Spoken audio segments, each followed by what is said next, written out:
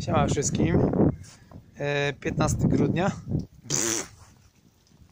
Jeszcze raz. Siema wszystkim. 15 stycznia. E, Jak widzicie spadł śnieg. E, Za niecałe 5 dni mamy szkolenie. Także będzie grubo. Ale już zaczął padać deszcz, także długo się chyba ten śnieg nie utrzyma. Jesteśmy dzisiaj z Maxem. Cześć Maksiu. Cześć Max. Jesteś?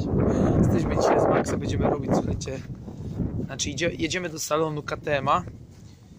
Dzisiaj taką decyzję podjęliśmy, że jednak weźmiemy nową sztukę KTM-a, także oglądajcie dalej, zobaczycie co się będzie działo. Nowa sztuka KTM-a. Niestety, bez sensu jeździć na starych motocyklach, szkoda czasu, szkoda pieniędzy. Także jesteśmy dzisiaj tutaj, widzicie, już spakowani i lecimy tak, przygotowani. Lecimy po nowego KTM. Także do zobaczenia. No i siema, już jesteśmy z powrotem. Trochę nam to zajęło, około 3 godzin taki wyjazd, ale jesteśmy już szczęśliwcami po zakupie.